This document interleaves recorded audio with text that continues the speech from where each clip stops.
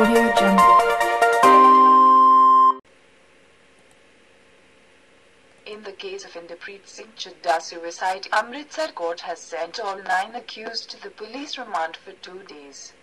On January 3rd, Indapreet had committed suicide. The team was formed to investigate the matter. During the investigation, all of them were arrested in Chandigarh on behalf of the police. The accused's lawyer Ajay Virmani told that in the court he had opposed the remand of the police.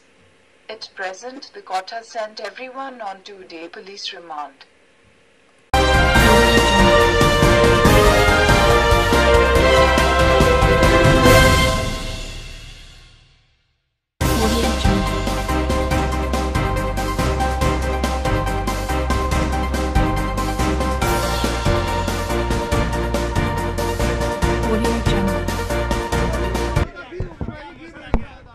ਅਦਾਲਤ ਦਾ ਹੁਕਮ ਹੈ ਜੀ ਕਿਸੇ ਦਾ ਜੋ ਪਰਸੋਂ ਤੱਕ ਦਾ remand ਹੈ। ਪਰਸੋਂ ਤੱਕ ਦਾ ਰਿਮਾਂਡ ਹੈ। ਪ੍ਰੈਜ਼ੈਂਟਡ ਅਗੇਨ ਫॉर ਪਰਸੋਂ ਦੁਬਾਰਾ ਹੋਣਗੇ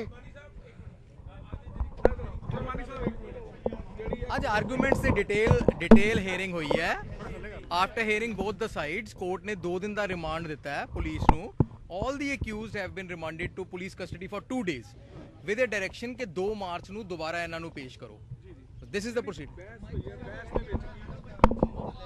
ਬੈਸ ਦੇ ਵਿੱਚ ਬੈਸ ਦੇ ਵਿੱਚ as far as we people are concerned from defence side ਅਸੀਂ ਆਰਗੂ ਕੀਤਾ ਕਿ ਇਹ ਕਿ ਅਬੈਟਮੈਂਟ ਆਫ ਸੁਸਾਈਡ ਦਾ ਕੇਸ ਨਹੀਂ ਬੰਦਾ ਔਰ ਕਿਸੇ ਤਰ੍ਹਾਂ ਦੀ ਵੀ ਇਹਨਾਂ ਦੀ ਪੁਲਿਸ ਕਸਟਡੀ ਦੀ ਰਿਕੁਆਇਰਮੈਂਟ ਨਹੀਂ ਹੈ ਕੋਈ ਕਸਟੋਡੀਅਲ ਇੰਟਰੋਗੇਸ਼ਨ ਵਾਸਤੇ ਕੇਸ ਪ੍ਰੋਸੀਕਿਊਸ਼ਨ ਮੇਡ ਆਊਟ ਨਹੀਂ ਕਰ ਸਕੀ ਪ੍ਰੋਸੀਕਿਊਸ਼ਨ ਦੀ ਗਰਾਊਂਡ ਸੀ ਕਿ ਨਹੀਂ देयर इज ਅ ਗਰਾਊਂਡ ਅਸੀਂ ਇਹਦੇ ਅੱਗੇ ਹੋਰ ਇਨਵੈਸਟੀਗੇਸ਼ਨ ਕਰਨੀ ਹੈ ਸਾਡੀ ਡਿਫੈਂਸ ਸੀ ਕਿ ਤੁਸੀਂ ਆਲਰੇਡੀ ਪਿਛਲੇ ਡੇਢ ਦੋ ਮਹੀਨੇ ਤੋਂ ਲਗਾਤਾਰ ਇਨਵੈਸਟੀਗੇਸ਼ਨ ਕਰ ਰਹੇ ਹੋ ਅਸੀਂ ਇਨਵੈਸਟੀਗੇਸ਼ਨ ਬਾਰ-ਬਾਰ ਜੁਆਇਨ ਕੀਤੀ ਹੈ ਔਰ ਇਸ ਕਰਕੇ ਸਾਨੂੰ ਹੋਰ ਇਨਵੈਸਟੀਗੇਸ਼ਨ ਦੀ ਲੋੜ ਨਹੀਂ ਹੈ।